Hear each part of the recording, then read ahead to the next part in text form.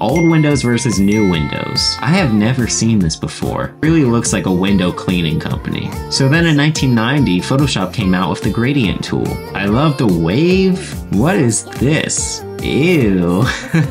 oh my god, they added more. And then somehow we go from the coolest logo to oversimplified. What the?